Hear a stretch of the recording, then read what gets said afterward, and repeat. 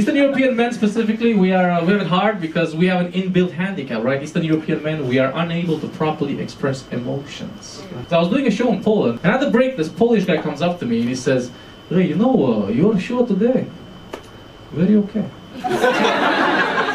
your show today, very okay." I was like, uh, "Thank you, man, but that is not how you use very. it's either very good or very bad." No, no, no, no, no. Your show today, very okay. Very okay. Actually, your show today is so very okay that I will wait until the end when everybody leave and I will stay and I will help you fold these chairs and put them away. Because that is how Eastern European men show emotion towards other Eastern European men. For a metaphor of manual labor. Thank you very much for the offer, man, but I don't work here, okay? No, no, no, no, no, you don't understand. I will wait until the end of the show. And you and me, we are going to fold these chairs together. Understand? Whoa, sounds like a threat. so you see, I spent 30 minutes at the end of my show in Poland folding chairs with this random Polish guy. because my show, very okay. I've tempered down my drinking because you see, I am a sad drunk. I'm a sad drunk, right? Anyone else here sad drunk? The Polish person, yes. But you see, I have a lot of American friends, and most of my American friends, they're a special kind of drunk. Most of my American friends, they are the motivational speaker drunk.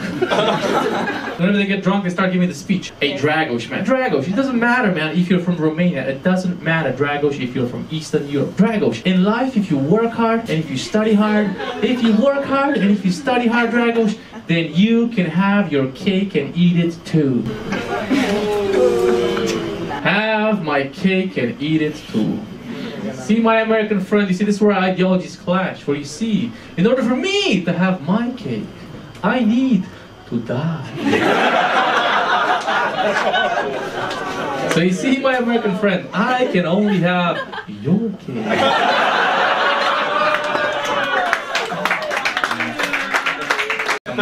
You see, I am no stranger to the motivational speaker drunk. For as it happens, my grandpa used to be a motivational speaker drunk. My grandpa was an Eastern European Romanian motivational speaker drunk. And motivations are rather different in Eastern Europe, right? So my grandpa would get drunk, his speech would be, eh, "E Dragos, in life you have to work hard, you have to study hard, and if you work hard and if you study hard, Dragos, then you can have horse. Grandpa, I can have a horse? No, no, not horse. But horse. Oh, oh, oh, okay, Grandpa, I'm six. but I will do my best to get this horse. Everybody's running away from the Eastern European identity. Everyone. When I was in Estonia, the Estonians were like, oh, in Estonia, we are the Nordics. the Polish people, no, no, we are Central Europe. I even went to Serbia, and I was like, guys, Romania, Serbia, come on, Eastern Europe, yeah? And the Serbian response was like, uh, actually, in Serbia, we are West Balkans. West Balkans? What the fuck is a West Balkans? Guys, stop making your own alcohol, okay? This is what's happening, man. Everybody's running away. Everybody's running away from the Eastern European identity, from the Eastern European label. What am I supposed to do? I am from the east of Romania. but that's fine, because I thought about it long and hard, and I would like to announce that I'm currently working with the governments of Eastern Europe on a rebranding project. we figured it out. We're rebranding to West Asia. Everybody's running away from the Eastern European identity, man. Everybody's running away, but you can't trick me. Let me tell you how to identify the Eastern Europeans. It's very easy. All you have to do is look into the eyes of the person next to you and see if they have that thing at the back of their eyes. That thing that all Eastern Europeans have. See if it's there at the back of their eyes. That that forever sadness.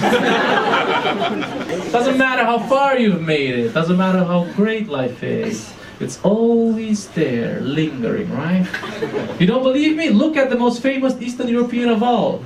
Look at Melania Trump. You can always see the sadness in her eyes.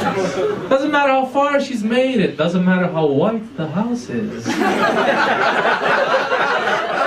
always there. You know, if you look at her, she's telling you with her eyes, I know that you might think I've won, but as an Eastern European, even when I win, I lose. so I recently went back to Romania, and my, uh, my high school friend is now uh, 31, and he has a six-year-old, and I see the six-year-old go to my friend and say, Daddy, Daddy, when I grow up, I want to be an astronaut.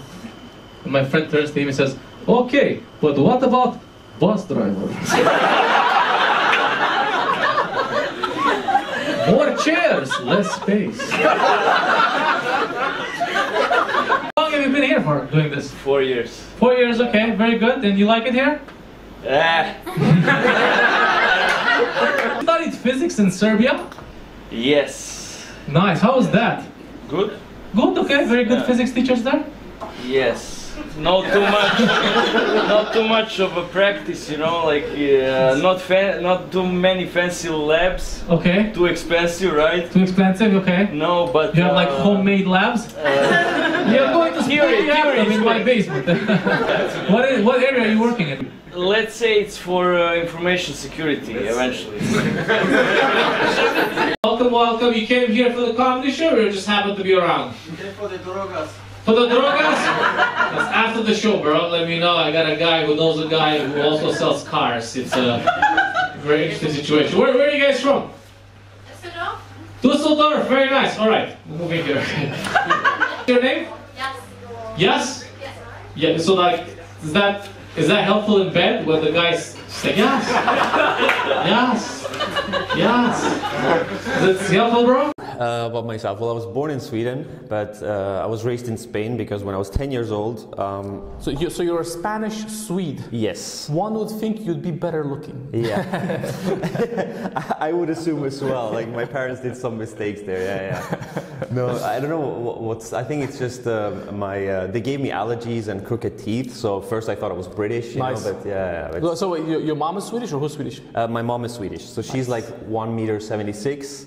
Oh, And really? My, and my dad is one meter 63. So it's it's a really Really? yeah yeah. My dad, I don't know. He must Oh, this guy fucks. Yeah, exactly. But then I saw him naked. I was like, no, that's not it. That's not it? Okay. No, like he. But I think he has just general swag. The confidence. Yeah, that he did not. I did not inherit it. right. When like- you're 163, you have to have confidence. Yeah, like, and I saw some pictures. Like my mom, like I saw some pictures when she was young, and like, I don't want to be that guy, but like she she was hot. Just babe. Yeah, yeah. She would, I'll be like, damn. And and then I saw some other girlfriends from my dad, and they were even hotter. And I was like, Really? yeah. And, and but apparently he was like this disco dancer, and he had like even like this uh, world record of like dancing for I think it was like 36 hours straight. Really? Yeah. Ah, they, they, they went in for the stamina. Yeah, yeah, for sure, for This guy, sure. like, this guy can move his hips for 36 hours straight. And I mean, no, he, he was a very well. He still is like a very unique dude. He's like the the the way I describe my dad is like he has the, the biggest heart and the best intentions in the world, Right. But like the smallest brain.